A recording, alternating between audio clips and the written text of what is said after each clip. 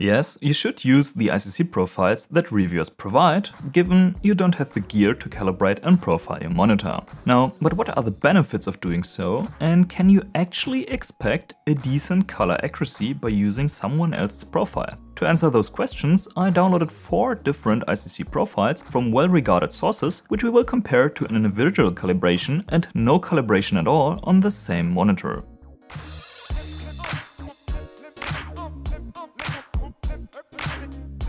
I think it's pretty tempting to just go download and use an ICC from the internet. I mean, many of them are free and getting super accurate colors for free without needing to learn anything about calibration and spending 200 bucks on a colorimeter sounds pretty tempting, right? Now, it's not exactly that simple. About a year ago, I already compared a bunch of ICCs on the same monitor to find out which level of accuracy we actually can expect. So this is kind of a part 2, or at least an attempt to gather some more data points.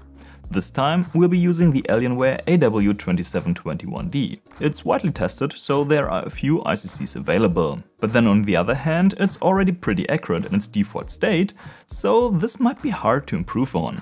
Now one major concern when using ICCs that others have created is how different individual units of the same monitor might be. An ICC that's perfect on one monitor might be causing very inaccurate colors on another sample and thus do more harm than good. So how different are the monitors that 5 different reviewers got? This is the color gamut of my review sample and that's what Hardware Unboxed got, which is extremely similar. RTINGS got almost the same results as well, with differences so small that they could easily be attributed to different equipment and testing conditions. The unit that TFT Central got shows slightly different results though, but that's still pretty close. But I'm sure that something went completely wrong with this profile. That's the sRGB color gamut and definitely not the color gamut of the Alienware AW2721D. So obviously something went wrong while creating this profile. I've contacted Bijan and I'm sure he will have that sorted out soon.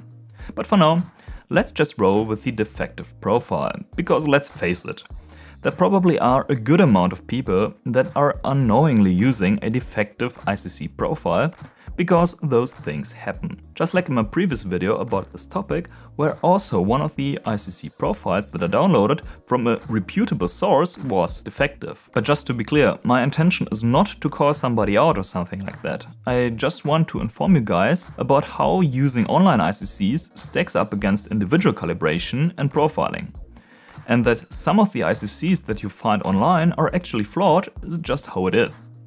I actually thought about not telling which profile is which, but then again I wouldn't want anyone to download and use an obviously flawed ICC. Anyway, Let's move on and compare the color accuracy we get with sRGB content. Now as a point of reference we got the individual calibration, which without any surprises gives us great results in form of low delta E's, both for the average and for the maximum. Ideally we'd want values lower than 1 for the average and lower than 3 for the maximum, and here we are well below that.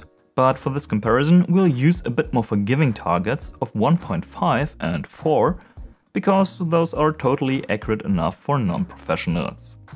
And good news, all three ICC profiles that are non-defective meet these targets. Only the defective profile shows much higher delta E's, but that's really no surprise as we're basically using an sRGB profile on a monitor that aims for the much bigger DCI-P3 color gamut. Now it might be tempting to say, well RTINGS got the best profile, so I'm just gonna use that. But that's not how it works.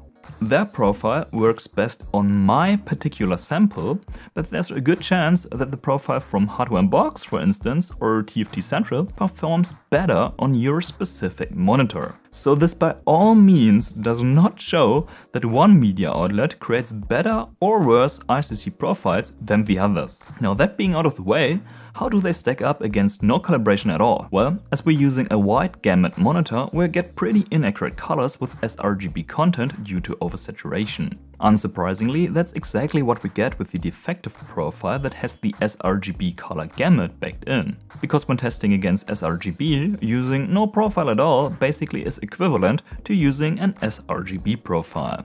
Now, I already mentioned that the AW2721D aims for the DCI-P3 color gamut and does give us pretty accurate DCI-P3 results right out of the box. So this might be an area where using someone else's profile could hurt our color accuracy. And that's certainly true for the defective profile. We get much worse results than with no profiling at all, so this shows us that it's not always a good idea to use ICCs you find on the internet, definitely not without being a bit critical. However, all the other profiles give us pretty good results. For DCI-P3, the sample that Hardware Unboxed got seems to be very similar to my unit, so we're managing to stay below both targets. RTINGS' ICC also leads to a respectable improvement in accuracy, while TFT Central's profile at least doesn't make my monitor worse than using no ICC at all. Now, to get a better estimate on which improvement you can expect on your own monitor, we can take a look at the average performance of the non-defective profiles. And the improvement over not using an ICC certainly does look pretty good if you ask me. Of course, we're assuming here that you don't end up accidentally using a defective profile. So do these findings change my mind about using reviewers ICC profiles?